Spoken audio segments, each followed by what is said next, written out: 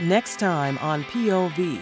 In Texas, politics isn't just a hobby, it's a calling. Texas is. It's a, it's a very Republican state. It's South Carolina on steroids. Watch a heated local race unfold and see how politics goes from your house to the White House. Appreciate your vote November 5th. I'll only work for you and the people of Texas. Last Man Standing.